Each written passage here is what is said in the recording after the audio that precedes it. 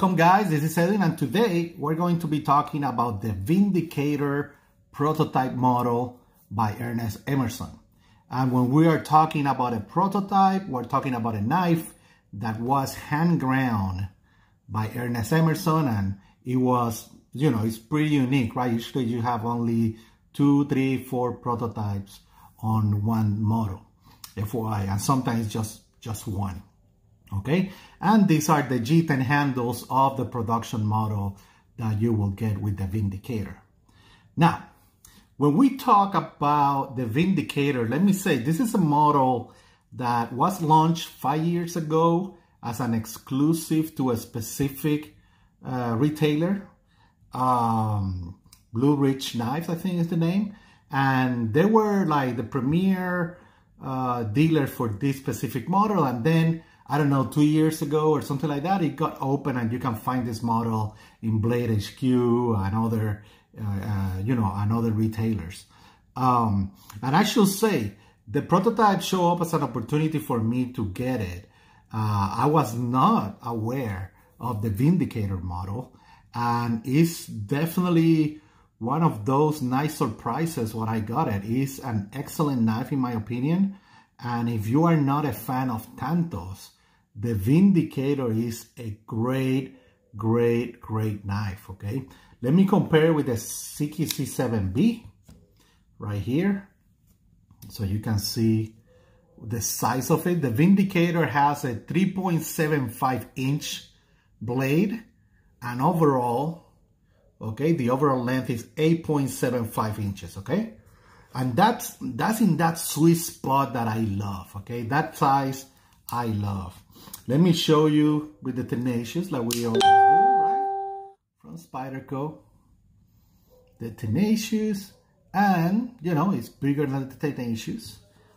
And let's compare with the Buck 110. And I have some other knives that I want to compare with also. Okay? The Buck 110. That is a big knife, you know. That's how I compare. Now, the Vindicator is that sweet spot and sometimes people say that it, it feels a lot like the Patriot. And this is the Patriot. I made a video recently, an FAQ video, about the comparing these two models with, you know, how they compare and details on it. And for me, yes, there's a comparison there.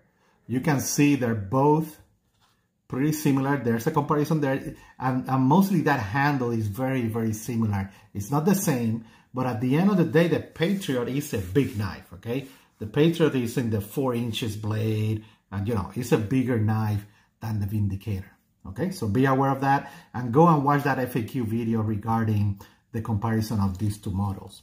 And what I will say is that if you like, if you like the Commander, okay, and this is a custom Commander, if you like the Commander recurve, but if it's a little bit too much of a recurve for you and you want something a little bit more subtle, let me tell you, the Vindicator, blade-wise, is very similar to the CQC15 without the Tanto, okay? For me, that's the model that it resembles the most in terms of blade size and, and you know, and that, that look and the thickness of the width of that blade and all that. I think it's basically a CQC15 with without the tanto, right, that the CQC15 has. And then that handle is more into the utilitarian handle like the Patriot, okay? It's smaller than the Patriot and it has a blade similar to the CQC15 without the tanto. And I think I think that's a great package and a great surprise when I got my hands on this model okay? Ergonomics are excellent, okay? You have that finger guard there, and then you have this belly here that feels your palm perfectly. Let's look at that blade. Like I mentioned, it has that subtle recurve, like the 15, but without the tanto. It just continues with that recurve. You have that switch right there.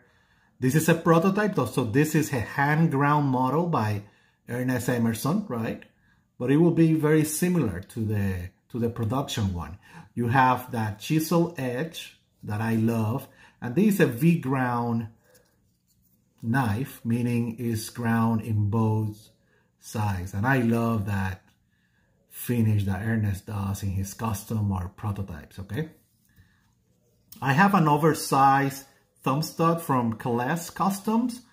Um, and then, you know, you have your normal wave that works great. And you have your basic Emerson uh, construction that he has in all his uh, production models. And I love that. Very simple. You can disassemble this with any type of tools and it's really, really simple to clean up, put back together and move there, right? So let's look at that. You have that finger guard and then it just taper, you know, just continue with that belly here that feels great in the hand. When you hold this, it's just melt right there like most Emersons, okay? And there's the bag with the normal pocket clip. When you close that model, you know, very, very nice. I love the profile of the Vindicator. And again, it's definitely a surprise, super smooth. Ah, I love it. You can engage it left-handed if you need to, no problem. Okay, and right-handed, of course, and through the wave. You know, it's definitely, it's definitely a great, great overall knife. And like we were talking about, it's a 3.75 inch blade. So, you know, very similar to a Commander full size. If you like the Commander recurve, this is less, less of a recurve, but still that great, great blade and size on it. Now let's see how it rides in the pockets, okay? Because it's the same handles as the production one and it writes excellent, okay? Excellent. I love how the Vindicator writes in the pockets. One of my favorite big knife, you know, big primary knives is how this Vindicator writes, how, how the CQC15 or the Commander writes, right? Great. And like we always do, if you're looking for that deep pocket carry, that is not my preference, but it's available. You know, you can get second market uh, choices for it. It's right like that, very, very deep, okay? Very, very deep.